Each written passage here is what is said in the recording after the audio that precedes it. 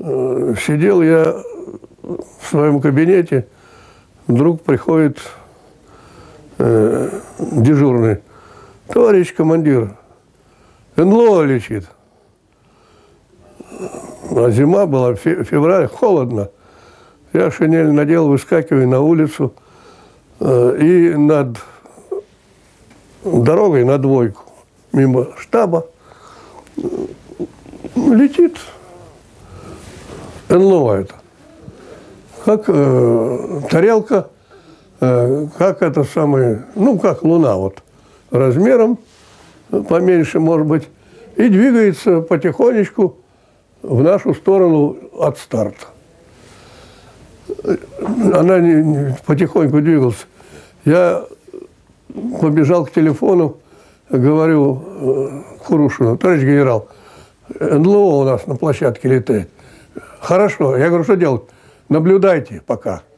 Значит, и э, я положил трубку, выбежал опять на старт, на, э, на, на дорогу. Значит, это НЛО летело, летело, летело. И где-то в зените надо мной она поворачивает на 90 градусов, вот так вот, и с большой скоростью пошла вот в сторону. Вот это был первый случай встречи НЛО. И второй раз мы делали раз в год марш э, для шоферов. Сажали шоферов молодых на машины э, шофером, рядом с ними сажали э, старого шофера, чтобы в случае чего. Ну, и набиралась команда, большая машина, 400-500 разных. Значит, и мы делали марш. Километров на 150, на 200, я не помню. И э, с ночевкой. И вот мы в одном месте остановились э, на ночь. И со мной сколько было людей, это в каждой машине было по два солдата, шофер и запасной – и еще офицеры были. Значит, и собралось народу, э, ну, наверное, человек 100 больше, 150, может быть, не знаю. И мы наблюдали э, картину. На горизонте двигается медленно, но двигается светящийся точный квадрат. Ну, такой. Прямоугольник, вернее. Двигается, и все не я один, а все люди это видят. И вдруг он бледнеет, бледнеет и погас. Вот это второе. Видели.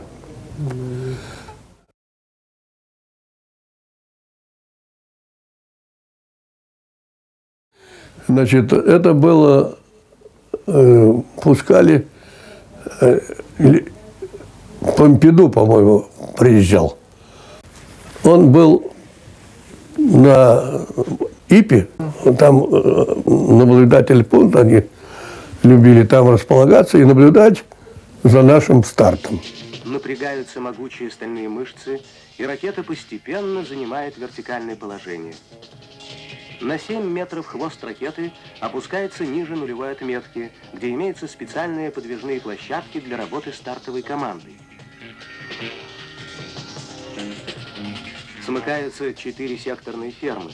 Они, словно за талию, будут поддерживать на весу громадину ракету до самого старта.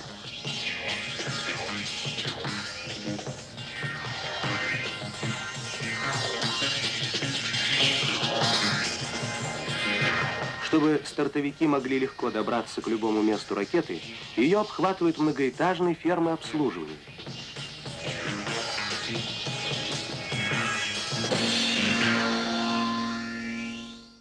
Когда стали опускать ферму, площадки одна не, не закрылась.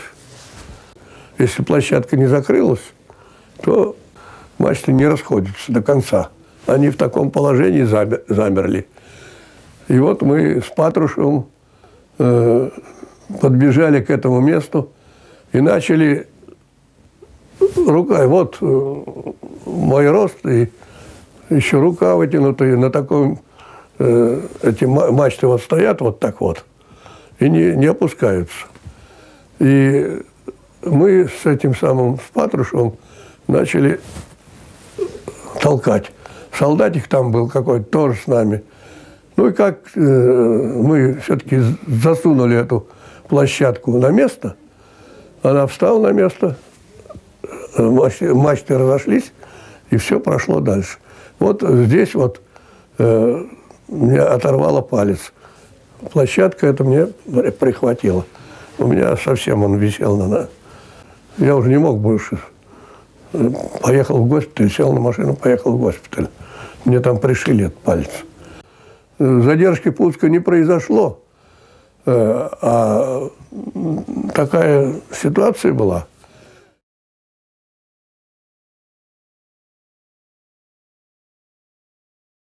Госкомиссия заседала. И готовили мы, Союз должны были запускать, да. Начинается заправка ракеты топливом.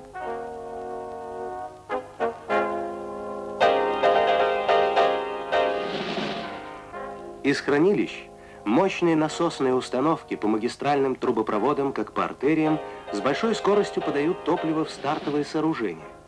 Отсюда по отдельным рукавам, подсоединенным к борту ракеты, топливо попадает в ее баки. Одновременно идет заправка сжатыми газами.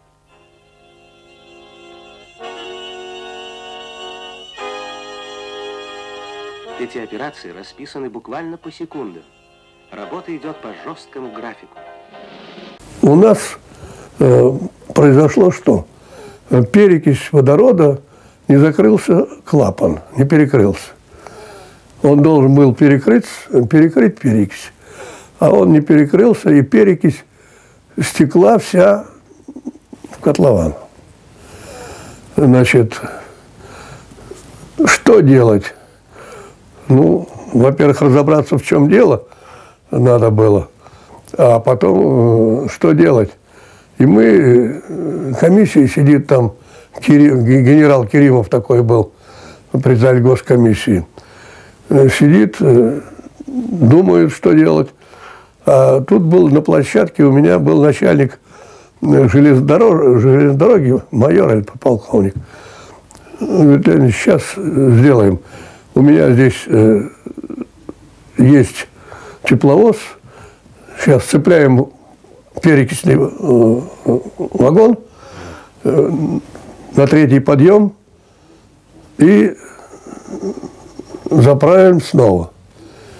Значит, ну, так я разобрался, что пока люди полезли разбираться с, клап, с клапаном, я организовал отправку э, этих э, вагонов и захожу в этот самый зал заседаний, где э, генерал Керимов со всеми обсуждает, что делать, и решают. Я застал еще э, такие фразы, что когда, на когда перенесем пуск.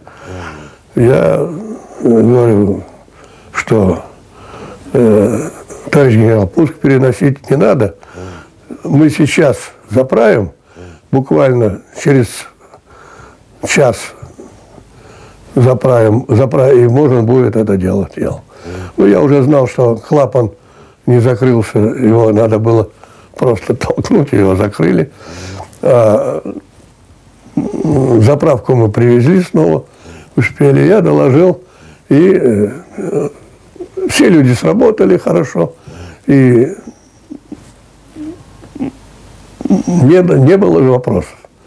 Но нам, нам нанервничались достаточно. Сорвать пуск в такой ситуации было. Не помню, что Аполлон, по-моему, да.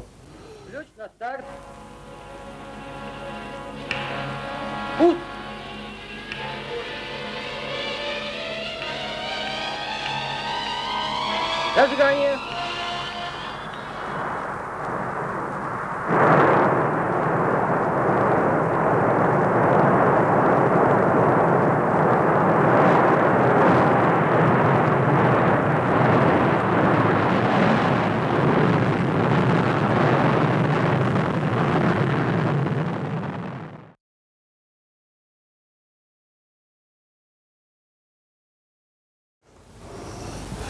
Был скандальный пуск один. Что-то у нас не поладилось на старте. Выяснили, что вышел из строя кабель. А кабель этот, э, производство не наше, а мы покупали его в Финляндии, а делали его где-то еще то ли во Франции, то ли в, э, в Америке. То есть его надо закупить было, привезти сюда, чтобы восстановить. И вот э, эта авария э, нам стоила э, больших нервов. Значит, ну, было много э, всяких э, народу, которые решали вопрос. А кого винить?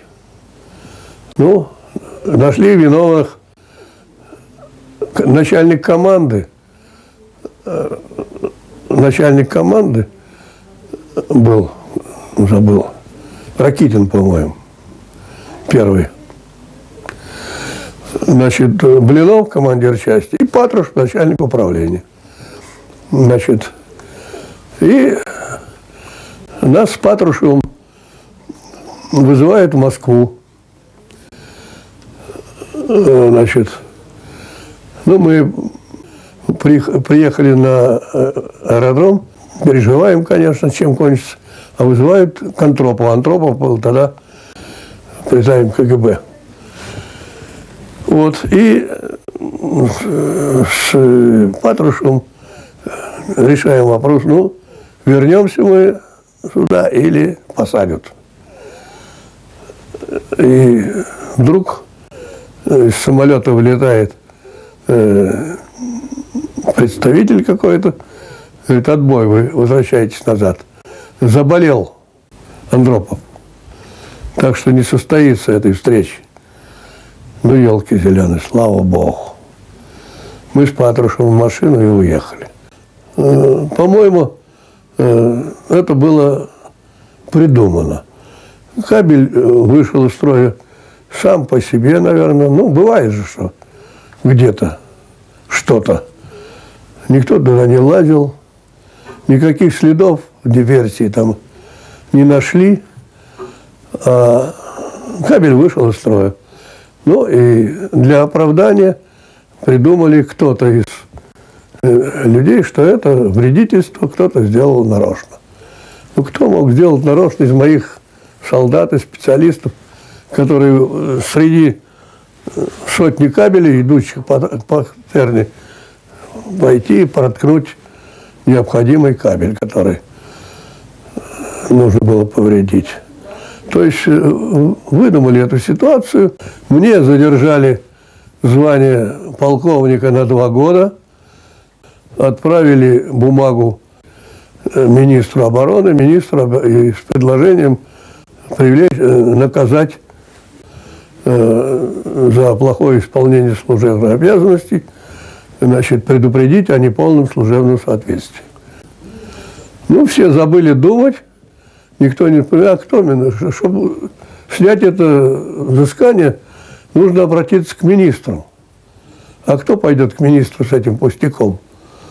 Никто не идет. Ну, в конце концов, Патрушев написал какую-то бумагу, пришли пришла бумага, что отменить мне это взыскание, и только после этого мне присвоили звание полковника. Вот задержка произошла с повреждения. Ну, это с подачи КГБ.